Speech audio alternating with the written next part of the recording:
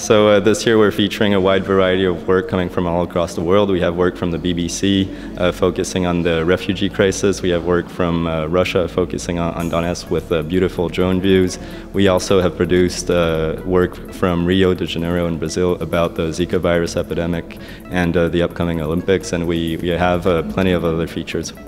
We're showcasing a portfolio of projects of different types of um, 360 content and virtual reality content, um, ranging from fast turnaround um, reports, proper news gathering in 360, for example, um, a, a, report that was done in Paris just after the terror attacks by Matthew Price um, that was shot on a consumer camera, which is really for watching on, on mobile and tablets. All studies have shown that users feel a lot more empathy with the subject and theme of the story.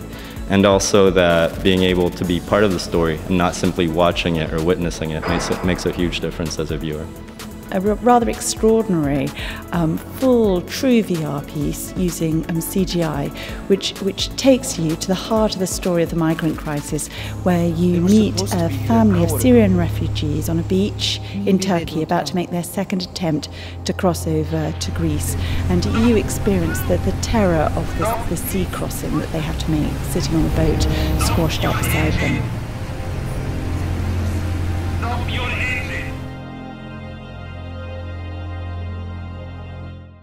It's it's it's chilling to actually be there and realize the aftermath of uh, what happened uh, and, and the, what has happened and continues to happen.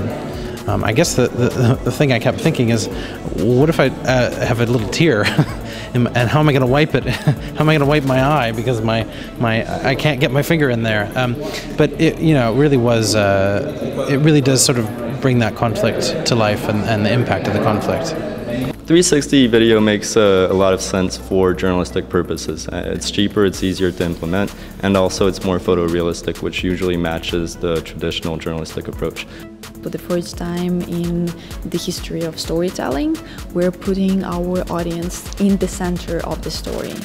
So everything needs to change. We need to change the way how we tell stories. We need to change how we uh, think about producing content for VR because it's just different language. I mean, they're still fairly slow to, to pick up the technologies for two reasons. One were the high budgets which were associated, and also post-production workflows which were difficult. But more and more, uh, you see journalists getting in touch with these technologies, learning how to use them, and there's no question about it. This is one of the futures for journalism and media.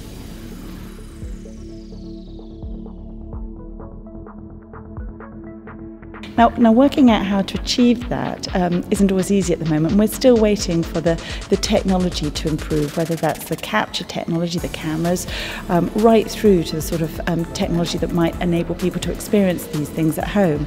But it's starting to happen now, and it's good enough to get started. So it's an extraordinary time to experiment and find out what works, and that's what we started to do.